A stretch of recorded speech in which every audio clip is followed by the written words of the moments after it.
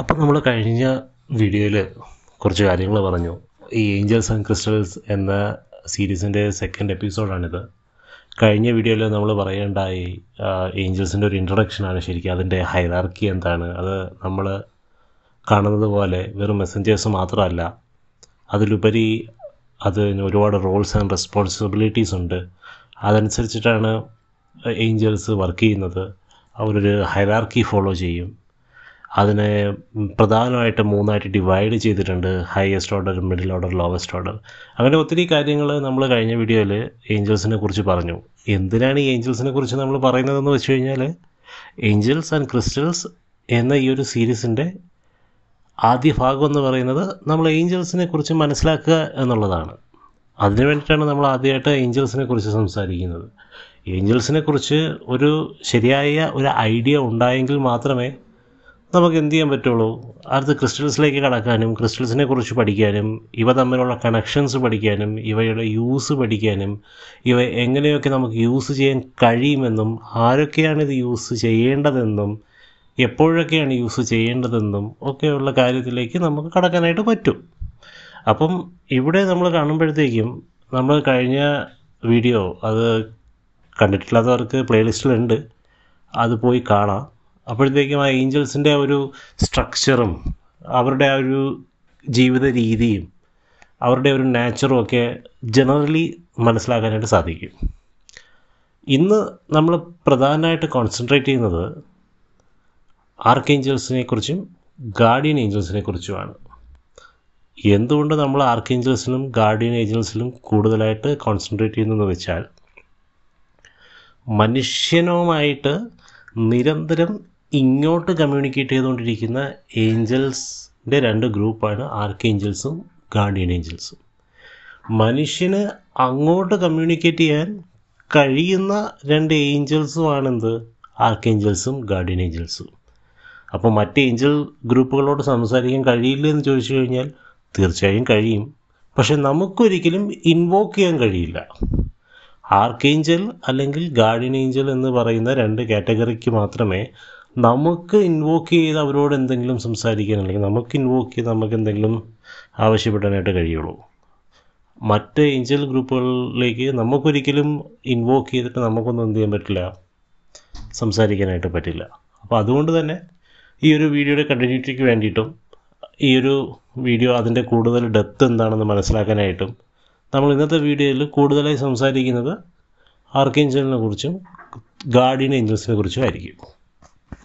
അപ്പോൾ എന്താണ് ആർക്കേഞ്ചൽ അപ്പോൾ എന്താണ് ആർക്കേഞ്ചൽ എന്നുള്ളൊരു അതിന്റെ ഒരു ഓവർ വ്യൂ അല്ലെങ്കിൽ ഒരു ജനറൽ ഐഡിയ നമ്മൾ കഴിഞ്ഞ വീഡിയോയിൽ പറഞ്ഞിട്ടുണ്ട്.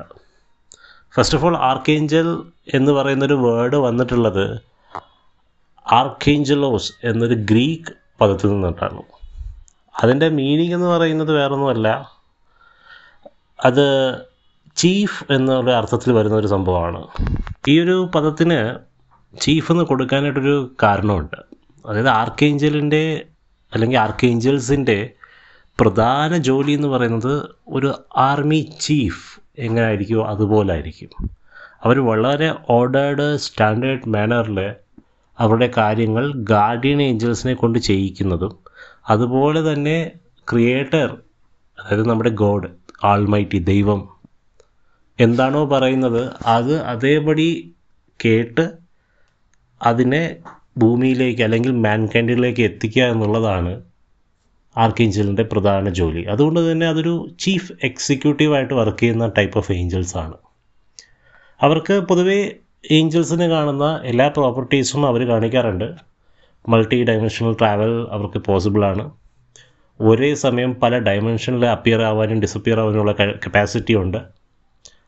അതുപോലെ തന്നെ അവർക്ക് one way and two way communication പോസിബിളാണ് മാത്രമല്ല അവർ വളരെ പവർഫുള്ളാണ് വളരെയധികം ശക്തിയുള്ള ഒരു സെറ്റ് ഓഫ് ഏഞ്ചൽസാണ് ആർക്കേഞ്ചൽസ് എന്ന് പറയുന്നത്. മറ്റ് ഹൈറാർക്കിയിലേക്ക് നോക്കിയാൽ കൂടെ തന്നെയും അവരോടൊപ്പം അല്ലെങ്കിൽ അവരോട് ഇക്വലന്റായിട്ട് തന്നെ ശക്തിയുള്ള ഏഞ്ചൽസിന്റെ ഒരു ഗ്രൂപ്പ് ഓഫ് ഏഞ്ചലാണ് ആർക്കേഞ്ചൽ എന്ന് പറയുന്നത്. ഇതിന്റെ ബേസിക്കായിട്ട് ഈ ആർക്കേഞ്ചൽസ് എന്ത് ക്യാരക്ടേഴ്സ് കാണിക്കും അല്ലെങ്കിൽ അവർക്ക് എന്തൊക്കെയാണ് പ്രത്യേകതകളുണ്ട് എന്നുള്ള കാര്യങ്ങളൊക്കെ നമ്മൾ ഈ വീഡിയോയുടെ തുടർന്ന് അങ്ങോട്ട് പോകുമ്പോൾ നമ്മൾ ഈ വീഡിയോ തന്നെ പറയുന്നതായിരിക്കും. അപ്പോൾ ഇവിടെ പ്രധാനമായിട്ട് നമ്മൾ ശ്രദ്ധിക്കേണ്ടുന്നൊരു കാര്യം ആർക്കേഞ്ചൽ എന്ന് പറയുന്നത് ലോവസ്റ്റ് ഓർഡറിലുള്ള ഏഞ്ചലാണ് എന്നിരുന്നാൽ കൂടിയും അവർ കുറേയധികം പവർഫുള്ളായിട്ടും ദൈവത്തോട് വളരെയധികം അടുത്തിരിക്കുന്നതും മനുഷ്യനോട് കമ്മ്യൂണിക്കേറ്റ് ചെയ്യാൻ സാധ്യത കഴിവുള്ളതുമായിട്ടുള്ള ഏഞ്ചൽസ് ആണെന്ന് മനസ്സിലാക്കുക. ഇനി ഈ ആർക്കേഞ്ചൽസിന് താഴെ വരുന്നൊരു ഗ്രൂപ്പാണ് ഗാർഡിയൻ ഏഞ്ചൽസ് അതിലേക്ക് പോകുന്നതിന് മുൻപ് ആർക്കേഞ്ചൽസിനെ കുറിച്ച് ഒരു കാര്യം കൂടെ പറഞ്ഞോട്ടെ. വേറൊന്നുമല്ല ഈ ആർക്കേഞ്ചൽ എന്ന് പറയുന്ന ഗ്രൂപ്പ് ഓഫ് ഏഞ്ചൽസ് അത് ചില പുസ്തകങ്ങൾ നോക്കിക്കഴിഞ്ഞാൽ നമുക്ക് കാണാനായിട്ട് സാധിക്കുന്നത് ഏഴ് പേരെ കുറിച്ചിട്ടാണ്. എന്നാൽ ചില പുസ്തകങ്ങളിൽ അത് പന്ത്രണ്ട് പേരുണ്ടെന്നും പറയുന്നുണ്ട്.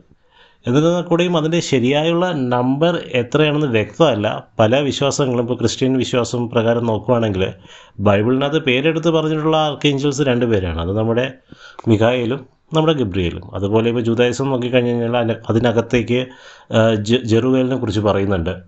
റാഫേലിനെ കുറിച്ച് പറയുന്നതായിട്ട് കാണാനായിട്ട് സാധിക്കും. അങ്ങനെ പല പല ഗ്രന്ഥങ്ങളിലേക്ക് നമ്മൾ പോകുമ്പോഴത്തേക്കും അല്ലെങ്കിൽ പല മിത്തോളജിക്കൽ ഫാക്ട്സിലേക്ക് നമ്മൾ പോകുമ്പോഴത്തേക്കും നമുക്ക് ആ ഒരു നമ്പർ കറക്റ്റായിട്ട് പറയാനായിട്ട് സാധിക്കില്ല. എന്നിരുന്നാലും ഏഴിനകത്തും പന്ത്രണ്ടിനകത്തുമുള്ള ഒരു നമ്പറിലേക്ക് നമുക്ക് കോൺസെൻട്രേറ്റ് ചെയ്യേണ്ടി വരും. അതാണ് ആർക്കേഞ്ചൽ ആ ഒരു നമ്പർ ഓഫ് ആർക്കേഞ്ചൽസ് ആണ് അവൈലബിൾ ആയിട്ടുള്ളത്. അല്ലെങ്കിൽ നമുക്ക് കാണാനായിട്ട് സാധിക്കുന്നത്. ഇനി ഇവരുടെ കീഴെ വരുന്ന last and final order of angels ആണ് ഗാർഡിയൻ ഏഞ്ചൽസ് ഗാർഡിയൻ ഏഞ്ചൽസ് വളരെയധികം പ്രത്യേകതയുള്ള ഏഞ്ചൽസ് ആണ്. അതിന്റെ പ്രധാനപ്പെട്ട പ്രത്യേകത എന്തെന്നറിയാമോ? ഒരു മനുഷ്യൻ അത് നമ്മുടെ ഈ ഒരു സോളാർ സിസ്റ്റത്തിലായിരുന്നാലും അല്ലെങ്കിൽ ഈ ഒരു മിൽക്കി വേ ഗാലക്സിക്കകത്തായിരുന്നാലും അതല്ല ഇനി വേറൊരു ഡയമെൻഷനിൽ വേറൊരു യൂണിവേഴ്സിനകത്തായിരുന്നാൽ കൂടിയും ഒരു ജീവൻ അല്ലെങ്കിൽ ഒരു മനുഷ്യനെ പോലെയുള്ള ഒരു ജീവൻ അവിടെ ഉടലെടുക്കുമ്പോഴത്തേക്കും ഒരു ഏഞ്ചൽ അവൻ അസൈനാവും ഇപ്പോൾ നമ്മൾ ഭൂമിയിൽ ജീവിക്കുന്ന സാധാരണ മനുഷ്യരായതുകൊണ്ട് നമുക്ക് മനുഷ്യന്മാരുടെ കാര്യം മാത്രം നോക്കിയാൽ മതി. അപ്പോൾ ഒരു മനുഷ്യൻ ഭൂമിയിലേക്ക് വരുമ്പോഴത്തേക്കും അവൻ ഈ ഭൂമിയിൽ ജനിക്കുന്ന ആ സമയം തൊട്ട് അല്ലെങ്കിൽ അവൻ ആ ഒരു എന്താ പറയുക അമ്മയുടെ ഉദരത്തിൽ വളരുന്ന ആ ഒരു സമയം തൊട്ട് തന്നെ ഒരു ഗാർഡിയൻ ഏഞ്ചൽ അവന് ചുറ്റും ഉണ്ടാകും. ഈ ഗാർഡിയൻ ഏഞ്ചൽ എന്ന് പറയുന്നത് എപ്പോഴും അവനെ ഒരു മോണിറ്റർ ചെയ്തുകൊണ്ടേയിരിക്കും. എപ്പോഴും വാച്ച് ചെയ്തുകൊണ്ടിരിക്കും. അവന്റെ ഓരോ ആക്ഷൻ റിയാക്ഷൻ ചെയ്യുന്ന കാര്യങ്ങൾ ചെയ്യുന്ന രീതികൾ സ്വഭാവം സ്വഭാവ വൈകല്യം ഇതെല്ലാം ഗാർഡിയൻ ഏഞ്ചലിനറിയാം. ഏതൊരു മനുഷ്യൻ ഭൂമിയിൽ ഉടലെടുത്ത ഉട- ഉടലെടുത്തിരുന്നാലും അവന് ചുറ്റും ഒരു ഗാർഡിയൻ ഏഞ്ചൽ തീർച്ചയായിട്ടും ഉണ്ടാവും.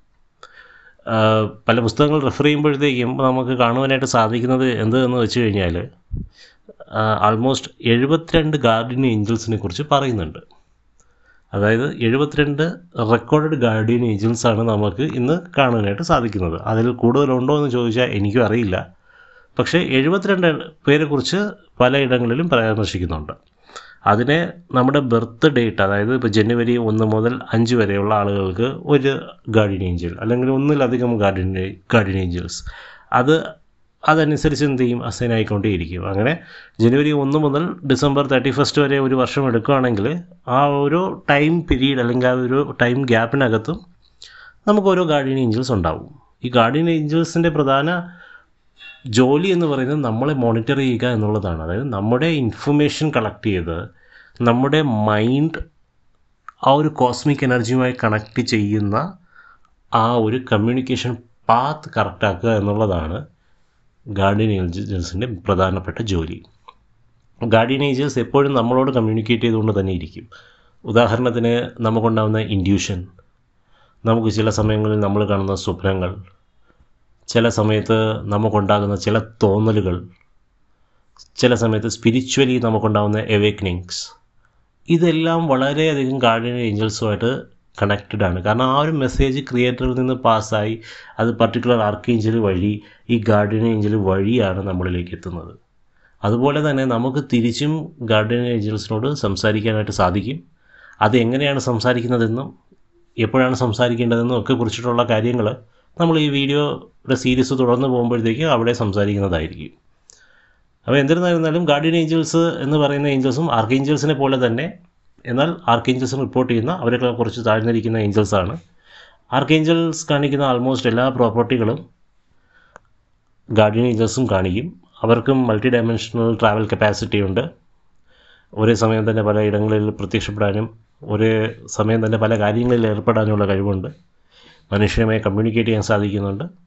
തിരിച്ച് മനുഷ്യനെ കമ്മ്യൂണിക്കേറ്റ് ചെയ്യാനുള്ള അവകാശവും അല്ലെങ്കിൽ ആ ഒരു പാത്വേയും ഓപ്പണാണ് അങ്ങനെ ഒരുപാട് പ്രത്യേകതകൾ ഗാർഡിയൻ ഏഞ്ചൽസ് കാണിക്കാറുണ്ട്. അപ്പോൾ ഇതാണ് ആർക്ക് ഏഞ്ചൽസിനെ കുറിച്ചും ഗാർഡിയൻ ഏഞ്ചൽസിനെ കുറിച്ചും എനിക്ക് പ്രധാനമായിട്ട് പറയാനുള്ളത്. എന്തുകൊണ്ട് ആർക്ക് ഏഞ്ചൽസിനെയും ഗാർഡിയൻ ഏഞ്ചൽസിനെയും കുറിച്ച് ഇപ്പോൾ ഒരു ഒന്നുകൂടി പറഞ്ഞു എന്ന് വെച്ച് കഴിഞ്ഞാൽ ഇത് നമ്മൾ അറിയണം. കാരണം നമ്മുടെ ഈ പറയുന്ന ക്രിസ്റ്റൽസ് അല്ലെങ്കിൽ ഏഞ്ചൽസ് അല്ലെങ്കിൽ കോസ്മിക് വേൾഡ് കണക്ഷൻസിൽ ഒരു മനുഷ്യനെ ശരിക്കും കമ്മ്യൂണിക്കേറ്റ് ചെയ്യാൻ കഴിവുള്ള അല്ലെങ്കിൽ മനുഷ്യന് അങ്ങോട്ട് പോയി കമ്മ്യൂണിക്കേറ്റ് ചെയ്യാൻ സാധിക്കുന്ന രണ്ട് ഏഞ്ചൽസും മനുഷ്യനോട് ചേർന്നിരിക്കുന്ന രണ്ട് ഏഞ്ചൽസും ഇവരാണ്. മറ്റ് ഹൈറാർക്കിയിലുള്ള ഏഞ്ചൽസ് കൂടുതലും ദൈവികമായിട്ട് അല്ലെങ്കിൽ ഒരു സ്പിരിച്വൽ വേൾഡിൽ ഒരു സെലസ്റ്റിയൽ വേൾഡിലിരിക്കുന്ന ക്രിയേറ്ററിനോട് ചേർന്നിരിക്കുമ്പോൾ arch angels and guardian angels is a category of angels which is close to humans നമ്മുടെ നമുക്ക് ഒരുപാട് അടുത്ത് ഇരിക്കുന്ന ഏഞ്ചൽസ് ആയതുകൊണ്ടിട്ടാണ് ഇവരെക്കുറിച്ച് ഇപ്പോൾ പറയുന്നത്. ഇനി ഇങ്ങനെ വെറുതെ നമ്മൾ ഏഞ്ചൽസിനെ കുറിച്ചും അല്ലെങ്കിൽ ആർക്ക് ഏഞ്ചൽസിനെ കുറിച്ചും പറഞ്ഞിട്ട് കാര്യമുണ്ടോ? ഇവരൊക്കെ നമ്മുടെ അടുത്ത് ഉണ്ടോ? അല്ലെങ്കിൽ നമുക്ക് എങ്ങനെ അറിയാം? നമുക്ക് എങ്ങനെ ഇവരെ മനസ്സിലാക്കാം? അല്ലെങ്കിൽ ഇവർ ഇവരെ ഇവരുടെ പ്രസൻസ് നമുക്ക് എങ്ങനെ കണ്ടറിയാം? ഇങ്ങനെയുള്ള കുറച്ച് കുറച്ചധികം ഡൗട്ടുകൾ അല്ലെങ്കിൽ കുറച്ചധികം എന്താ പറയുക ചിന്തകൾ നമ്മുടെ മനസ്സിലേക്ക് വരും. അപ്പോൾ അത് മനസ്സിലാക്കാനായിട്ട് നമ്മൾ ആദ്യം മനസ്സിലാക്കേണ്ടത് എന്ത് എന്ന് വെച്ച് കഴിഞ്ഞ് കഴിഞ്ഞാൽ ഈ ഏഞ്ചൽസിന് അല്ലെങ്കിൽ അതായത് ഏഞ്ചൽസ് എന്ന് ഞാനിപ്പോൾ ജനറൽ ടേം യൂസ് ചെയ്യുന്നത് ആർക്ക് ഏഞ്ചൽസിനെയും ഗാർഡിയൻ ഏഞ്ചൽസിനെയും കൂടെ കവർ ചെയ്തിട്ടാണ്. അപ്പോൾ ഈ ഏഞ്ചൽസിന് ഒരു പ്രത്യേകതയുണ്ട്. അവർക്ക് ബേസിക് ക്യാരക്ടേഴ്സ് എല്ലാം സെയിം ആയിരിക്കും. അതായത് ആർക്ക് ഏഞ്ചൽ എടുത്തിരുന്നാലും നമ്മുടെ ഗാർഡിയൻ ഏഞ്ചൽ എടുത്തിരുന്നാലും അവർ എക്സിബിറ്റ് ചെയ്യുന്ന ബേസിക് ക്യാരക്ടേഴ്സ് അതെല്ലാം സെയിം ആയിരിക്കും. ഫോർ എക്സാമ്പിൾ ഇപ്പോൾ കളർ റോൾ ടാസ്ക് അത് ഏത് ചക്രയുമായിട്ടാണ് നമ്മുടെ ശരീരത്തിൽ കണക്ട് ചെയ്യുന്നത്? അല്ലെങ്കിൽ നമ്മുടെ സ്പിരിച്വൽ ബോഡി കണക്ട് ചെയ്യുന്നത്? അവരുടെ സ്പെഷ്യാലിറ്റീസ് എന്താണ്? അവർക്ക് എന്ത് എലമെന്റിനോടാണ് അറ്റാച്ച്മെന്റ് ഉള്ളത്? അവർക്ക് ഏതെങ്കിലും സ്റ്റോണിനോട് അറ്റാച്ച്മെന്റ് ഉണ്ടോ? അല്ലെങ്കിൽ ജെം സ്റ്റോൺ അത് ക്രിസ്റ്റലിനോട് അറ്റാച്ച്മെന്റ് ഉണ്ടോ? ഇതൊക്കെ ബേസിക് പ്രോപ്പർട്ടീസാണ് എല്ലാ ഏഞ്ചൽസിനും ഈ പറയുന്ന ബേസിക് പ്രോപ്പർട്ടീസും ഉണ്ടാവും. അപ്പോൾ ആ ഒരു ബേസിക് പ്രോപ്പർട്ടീസ് മനസ്സിലാക്കാനായിട്ട് അത് എങ്ങനെയാണ് ഐഡന്റിഫൈ ചെയ്യുന്നത്? ഓരോ ഏഞ്ചലിനെ എങ്ങനെയാണ് ഐഡന്റിഫൈ ചെയ്യുന്നത് എന്ന് മനസ്സിലാക്കാനായിട്ട് ഈ ഒരു വീഡിയോക്കകത്ത് ഒരു ഏഞ്ചലിന്റെ എക്സാമ്പിൾ നമ്മൾ എടുക്കും. ആ എടുക്കുന്ന ഏഞ്ചലാണ് ആർക്ക് ഏഞ്ചൽ ഗബ്രിയേൽ നമ്മൾ ഇന്ന് ഈ ഒരു വീഡിയോക്കകത്ത് ആർക്കേഞ്ചൽ ഗബ്രിയേൽ വെച്ചിട്ടാണ് നമ്മൾ ഈ ബേസിക് ക്യാരക്ടേഴ്സ് എങ്ങനെയാണ് എന്ന് നമ്മൾ മനസ്സിലാക്കാനായിട്ട് പോകുന്നത്. ഓരോ ആർക്കേഞ്ചൽ അല്ലെങ്കിൽ ഏഞ്ചലിനും ഗാർഡിയൻ ഏഞ്ചലിനും ഈ ക്യാരക്ടേഴ്സ് വ്യത്യസ്തമായിരിക്കും. പക്ഷേ ആ ബേസിക് പ്രോപ്പർട്ടി ഇപ്പോൾ കളർ ഓരോ ഏഞ്ചലിനും ഓരോ കളർ ഉണ്ടാവും. അത് നമ്മൾ പഠിക്കാൻ പോവുകയാണ്. സോ എന്തുകൊണ്ട് ഇപ്പോൾ ഇവിടെ ഗബ്രിയലിനെ ചൂസ് ചെയ്തതെന്ന് വെച്ച് കഴിഞ്ഞാൽ ബൈബിളിനകത്ത് വളരെയധികം എന്താ പറയുക സ്പഷ്ടമായി വ്യക്തമായി ഒരു ഏഞ്ചലിനെ കുറിച്ച് പറയുന്നത് ഗബ്രിയലിനെ കുറിച്ചിട്ടാണ്.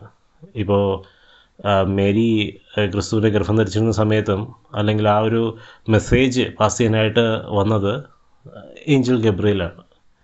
ഗബ്രിയലിന്റെ പ്രസൻസ് എന്ന് പറയുന്നത് എപ്പോഴും ഒരു പ്രത്യേകതയാണ്. അപ്പോൾ അതുകൊണ്ട് തന്നെ നമുക്ക് ഒരുപാട് അടുത്തിരിക്കുന്ന അല്ലെങ്കിൽ നമുക്ക് ഒരുപാട് മെസ്സേജുകൾ പാസ് ചെയ്യുന്ന ഒരു ഏഞ്ചൽ എന്ന നിലയ്ക്കാണ് നമ്മൾ ഗബ്രിയലിനെ കുറിച്ച് ഗബ്രിയലിനെ വച്ചിട്ട് ഈ പ്രോപ്പർട്ടീസ് എക്സ്പ്ലെയിൻ ചെയ്യുന്നത്. ആദ്യമായിട്ട് തന്നെ നമുക്ക് ഗബ്രിയലിന്റെ കളറിനെ കുറിച്ച് നോക്കാം. ഗബ്രിയൽ എക്സിബിറ്റ് ചെയ്യുന്ന കളർ എന്ന് പറയുന്നത് ലൈറ്റ്നിങ് വൈറ്റ് അല്ലെങ്കിൽ കോപ്പറിഷ് വൈറ്റ് എന്ന് പറയും. ഈ ഒരു കളറാണ് ഗബ്രിയലിന്റെ പ്രസൻസിലേക്ക് വരുമ്പോഴത്തേക്ക് നമുക്ക് അനുഭവപ്പെടുന്നത്.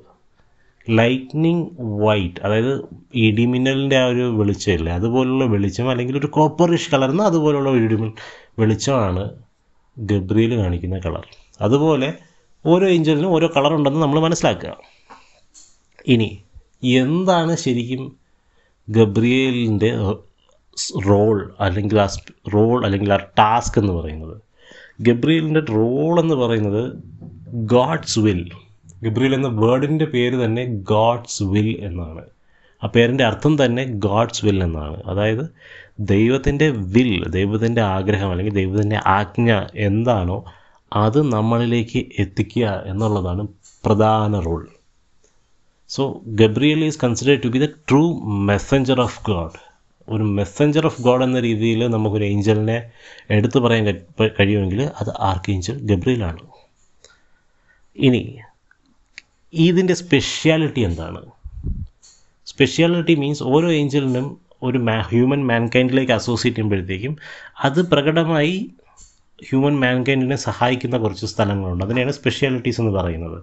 അതായത് ഫോർ എക്സാമ്പിൾ ഇപ്പോൾ ഗബ്രിയലിന്റെ ഒരു കേസ് എടുത്തു കഴിഞ്ഞ് കഴിഞ്ഞാൽ ഗബ്രിയൽ ശരിക്കും നമ്മളിൽ ഇമ്പാക്റ്റ് ഉണ്ടാക്കണമെന്ന് പറഞ്ഞു കഴിഞ്ഞാൽ it's a its own communication നമുക്ക് ഏത് രീതിയിൽ കമ്മ്യൂണിക്കേറ്റ് ചെയ്യണം?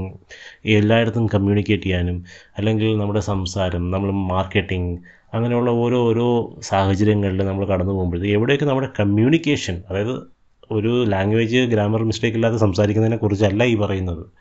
നമ്മൾ ഉദ്ദേശിക്കുന്ന കാര്യം വ്യക്തതയോടെ മറ്റ് നമ്മൾ കേട്ടിരിക്കുന്ന ആൾക്കാരെ അറിയിക്കുക. അതിനുള്ളൊരു കപ്പാസിറ്റി തരുന്ന ഒരു ഏഞ്ചലാണ് ഗബ്രിയേൽ. അതാണ് അവരുടെ സ്പെഷ്യാലിറ്റി അതുകൊണ്ട് തന്നെ ഇത് പ്രധാനമായിട്ടും അഫക്റ്റ് ചെയ്യുന്ന ഒരു ചക്രയുണ്ട്. അതായത് root chakra plus sacral chakra.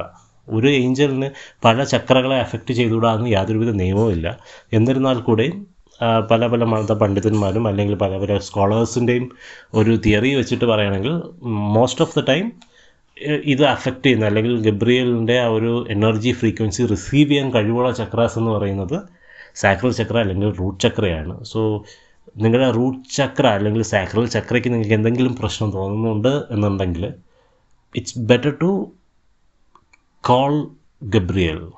വിളിച്ചു വരുത്തുക എന്നുള്ള ഒരു- ഉദ്ദേശത്തിലല്ല ഞാൻ ഈ പറയുന്നത്. ഗബ്രിയലിന്റെ പ്രസൻസ് ഉണ്ട് എന്ന് നിങ്ങൾ വിശ്വസിക്കുന്നുണ്ടെങ്കിൽ ദൈവത്തിലൂടെ ഗബ്രിയലിന്റെ പ്രസൻസ് നിങ്ങളിൽ ഉണ്ട് എന്ന് നിങ്ങൾ വിശ്വസിക്കുന്നുണ്ടെങ്കിൽ ഓട്ടോമാറ്റിക്കലി ആ റൂട്ട് ചക്ര അല്ലെങ്കിൽ സൈക്കിൾ ചക്രയുടെ പ്രശ്നങ്ങൾ മാറാനായിട്ടുള്ള സാധ്യതകൾ വളരെ കൂടുതലാണ്. ഇനി അവസാനമായിട്ട് ഇതിന് പറയേണ്ടുന്ന ഒരു സംഭവം എന്ന് പറഞ്ഞു കഴിഞ്ഞാൽ ഇതിനെ കണക്ട് ചെയ്യുന്ന ജെം സ്റ്റോൺ അതായത് നമ്മുടെ ക്രിസ്റ്റൽസ് ഇവിടെയാണ് ശരിക്കും നമ്മുടെ ട്വിസ്റ്റ് വരുന്നത്. ഞാനത് ഈ വീഡിയോയിൽ എന്തായാലും ഇപ്പോൾ പറയില്ല. പക്ഷേ നിങ്ങൾ പല ബുക്കുകൾ അല്ലെങ്കിൽ പല സ്കോളേഴ്സിന്റെ തിയറീസൊക്കെ റെഫർ ചെയ്ത് കഴിഞ്ഞാൽ നിങ്ങൾക്ക് കാണാനായിട്ട് സാധിക്കും. സിട്രിൻ ടാഞ്ചറിൻ പോലുള്ള ജെം സ്റ്റോണുമായി ഗബ്രിയലിനെ അസോസിയേറ്റ് ചെയ്തിട്ടുണ്ട്. തൽക്കാലം തൽക്കാലം മനസ്സിലാക്കാൻ വേണ്ടിയിട്ട് ഗബ്രിയലിനെ അസോസിയേറ്റ് ചെയ്യുന്ന ഒരു ജെംസ്റ്റോൺ ഉണ്ട്. അത് സിട്രിനാണെന്ന് മാത്രം തൽക്കാലം മനസ്സിലാക്കുക. അത് ശരിക്കും എങ്ങനെയാണ് അസോസിയേറ്റ് ആവുന്നത്? ശരിക്കും എന്താണ് അതിനകത്തുള്ള സയൻസ് എന്ന് വരുന്ന വീഡിയോകളിൽ നമ്മൾ പറയും. ഇപ്പോൾ ഇത്രയും മാത്രം മനസ്സിലാക്കുക. എല്ലാ ഏഞ്ചൽസും ബേസിക്കായിട്ട് പ്രോപ്പർട്ടീസ് കാണിക്കാറുണ്ട്. ആ പ്രോപ്പർട്ടീസ് എന്ന് പറയുന്നത് എല്ലാവരിലും കോമൺ ആയിരിക്കും. അതായത് കളർ ഓരോ ഏഞ്ചൽസിനും കളേഴ്സ് ഉണ്ടാവും. അല്ലെങ്കിൽ റോൾ അല്ലെങ്കിൽ ടാസ്ക് ഇത് എഫക്റ്റ് ചെയ്യുന്ന ചക്ര ഇത് ഇതിന്റെ സ്പെഷ്യാലിറ്റി ഇതൊക്കെ ഓരോന്നിനും ഡിഫറെന്റ് ആണെങ്കിലും ഈ പറയുന്നത് ഒരു കോമൺ കാറ്റഗറിയാണ് എന്ന് മനസ്സിലാക്കുക. ഇതുപോലെ തന്നെ നമ്മുടെ ഗാർഡിയൻ ഏഞ്ചൽസും എന്ത് ചെയ്യും? കാണിക്കും. ഓരോ ഗാർഡിയൻ ഏഞ്ചൽ എടുത്തിരുന്നാൽ കൂടിയും അവരും ഇതുപോലെ ഓരോ പ്രോപ്പർട്ടിയും കാണിക്കുക തന്നെ ചെയ്യും. അപ്പോൾ അതിന്റെ ഒരു റെഫറൻസ് ആയിട്ട് ഞാൻ ഈ വീഡിയോയുടെ ഡിസ്ക്രിപ്ഷൻ ബോക്സിനകത്ത് ഒരു P D F file attach ചെയ്യുന്നുണ്ട്. അതിനകത്ത് പോയി കഴിഞ്ഞ് കഴിഞ്ഞാൽ നിങ്ങൾക്ക് നിങ്ങളുടെ ജനന തീയതി ബർത്ത് ഡേറ്റ് വെച്ചിട്ട് ഏത് ഗാർഡിയൻ ഏഞ്ചലുമായിട്ടാണ് നിങ്ങൾ അസോസിയേറ്റ് ആയി അസോസിയേറ്റ് ചെയ്തിരിക്കുന്നതെന്ന് നിങ്ങൾക്ക് കാണാനായിട്ട് സാധിക്കും. അത് വെച്ചിട്ട് നിങ്ങൾക്ക് ആ ഏഞ്ചൽസിനെ കുറിച്ച് കൂടുതലായിട്ട് അറിയാനും പഠിക്കാനും അതിന്റെ പ്രോപ്പർട്ടീസ് നിങ്ങളുടെ ലൈഫിൽ എവിടെയെങ്കിലും നിങ്ങൾ അറിയാതെ പ്രകടമാകുന്നുണ്ടോ? എന്നൊക്കെ നിങ്ങൾക്ക് ഒരു ചെറിയൊരു റിസർച്ച് നടത്തി നോക്കാം. അപ്പം നിങ്ങൾക്ക് മനസ്സിലാവും okay I'm like this angel because ആ ഏഞ്ചൽസ് ആണ് എപ്പോഴും നിങ്ങൾക്ക് ഒരു മെസ്സേജ് തന്നുകൊണ്ടിരിക്കുന്നത്. അതാണ് അതിൽ നിന്ന് പ്രത്യേകമായി നമ്മൾ മനസ്സിലാക്കേണ്ടത്. സോ ഇതൊക്കെയാണ് ഇന്നത്തെ വീഡിയോയിൽ ഞാൻ പ്രധാനമായിട്ട് പറയാനായിട്ട് ആഗ്രഹിച്ചത്. സോ എന്തുകൊണ്ടെന്ന് പറഞ്ഞാൽ ഈ ഒരു വീഡിയോയ്ക്ക് ശേഷമാണ്. കാരണം ഇവിടെ നമ്മൾ ജെം സ്റ്റോണിനെ കുറിച്ച് പറഞ്ഞു. അതിപ്പോൾ ഗാർഡിയൻ ഏഞ്ചൽ എടുത്തിരുന്നാലും ആർക്ക് ഏഞ്ചൽ എടുത്തിരുന്നാലും ജെം സ്റ്റോണിനെ കുറിച്ച് ഏതൊരു സ്കോളറുടെ ബുക്ക് റെഫർ ചെയ്തിരുന്നാലും അവരൊരു ജെം സ്റ്റോൺ ഏഞ്ചൽസുമായിട്ട് കണക്ട് ചെയ്യുന്നുണ്ട്. സോ അടുത്ത വീഡിയോയിലേക്ക് വരുമ്പോഴത്തേക്കും നമുക്ക് ക്രിസ്റ്റൽസിലേക്ക് അല്ലെങ്കിൽ പറഞ്ഞ ജെം സ്റ്റോണിലേക്ക് കടക്കണമെങ്കിൽ നമുക്ക് ഈ ഒരു ഐഡിയ മനസ്സിൽ വേണം. അപ്പം ഈ വീഡിയോയുടെ ഡിസ്ക്രിപ്ഷൻ ബോക്സിലുള്ള പി ഡി എഫ് റെഫർ ചെയ്യുക. നിങ്ങളുടെ ഗാർഡിയൻ ഏജൻസ് എന്താണെന്നും നിങ്ങളുടെ കൂട്ടുകാരുടെ ഗാർഡിയൻ ഏജൻസ് ആരൊക്കെയാണെന്നൊക്കെ ഒരു ഐഡിയ ഒക്കെ ഉണ്ടാക്കി വെക്കുക. അതൊക്കെ നമുക്ക് എന്നിട്ടൊന്ന് ഒബ്സർവ് ചെയ്യുക. ഓക്കെ ഈ ഏഞ്ചൽസിന് എന്തെങ്കിലും പ്രോപ്പർട്ടീസ് നമ്മുടെ ജീവിതത്തിലുണ്ടോ? അല്ലെങ്കിൽ ആ പറയുന്ന പ്രോപ്പർട്ടി പോലെ എന്തെങ്കിലും എന്റെ ജീവിതത്തിൽ നടക്കുന്നുണ്ടോ? എന്റെ കഴിവുകളിൽ എന്തെങ്കിലും അത് എഫക്റ്റ് ആവുന്നുണ്ടോ? എന്നൊക്കെ നോക്കുക. അല്ലെങ്കിൽ എന്തെങ്കിലും എഫക്റ്റ് ആവുന്നില്ലെങ്കിൽ നമുക്ക് എന്തൊക്കെ ചെയ്യാൻ പറ്റും? എങ്ങനെയൊക്കെയാണ് അത് റെക്ടിഫൈ ചെയ്യേണ്ടതെന്ന് ഒക്കെയുള്ള കാര്യങ്ങൾ നമ്മൾ വരും വീഡിയോയിൽ പറയും പറയും. ഇപ്പോൾ ഇത്രയും മാത്രം ഇതിനെക്കുറിച്ച് മനസ്സിലാക്കുക. ഇത്ര തന്നെയാണ് ഈ വീഡിയോയിൽ ഞാൻ പറയാനായിട്ട് ഉദ്ദേശിക്കുന്നതും. എന്തെങ്കിലും ഡൗട്ടുകളോ അല്ലെങ്കിൽ എന്തെങ്കിലും പ്രശ്നങ്ങളോ ഉണ്ടെങ്കിൽ തീർച്ചയായിട്ടും കമന്റ് ബോക്സിൽ അറിയിക്കുക. നമ്മൾ തീർച്ചയായിട്ടും അതിനൊരു ഉത്തരം പറയും. അത് റെക്ടിഫൈ ചെയ്യാൻ ശ്രമിക്കും. ഈ വീഡിയോ സീരീസ് മുഴുവനായി കംപ്ലീറ്റ് ആകുമ്പോഴത്തേക്കും തീർച്ചയായിട്ടും ഏഞ്ചൽസിനെ കുറിച്ചും ക്രിസ്റ്റൽസിനെ കുറിച്ചും അതിന്റെ യൂസേജിനെ കുറിച്ചും അതെങ്ങനെ എപ്പോൾ എവിടെ യൂസ് ചെയ്യുന്നതിനെ കുറിച്ചും ഒക്കെയുള്ള ഒരു പൂർണ ഐഡിയ നിങ്ങൾക്ക് തീർച്ചയായിട്ടും വരും. അതെനിക്ക് ഉറപ്പാണ്. സോ നമ്മൾ ആദ്യത്തെ വീഡിയോ പറഞ്ഞു ഒരു ഏഞ്ചൽസിന്റെ ഇൻട്രൊഡക്ഷനെ കുറിച്ച് പറഞ്ഞു. ഇപ്പോൾ ഈ രണ്ടാമത്തെ വീഡിയോയിൽ ആർക്ക് ഏഞ്ചൽസിനെ കുറിച്ചും ഏഞ്ചൽസിനെ കുറിച്ചും അതായത് ഗാർഡിയൻ ഏഞ്ചൽസിനെ കുറിച്ചും നമ്മൾ പറഞ്ഞു.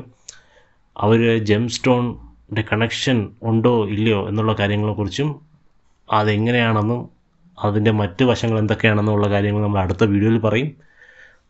തുടർന്നും ഇത് കാണുക കേൾക്കുക മനസ്സിലാക്കുക.